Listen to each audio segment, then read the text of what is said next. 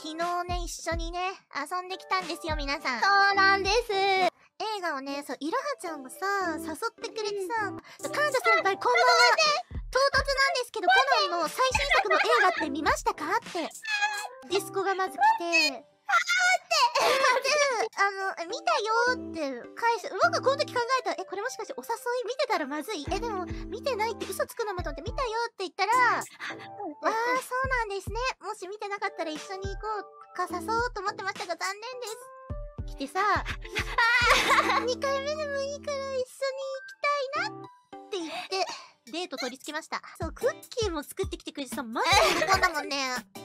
いや、ほんと、お口にあってよかったでござる。めっちゃ美味しかったよ、本当に。ほんとでござる。忖度一切なしめっちゃでござるな。もうずっと昨日もね、いろはちゃん褒め続ける一日だったもんな、僕。でもほんと一生褒めてもらってて、なんかずっとなんか恥ずかしくなって、嬉しくて恥ずかしくて、感情が迷子だったでござ顔を真っるな。赤にしてたもんな。笑わないでください顔が真っ赤、耳まで真っ赤にしてる。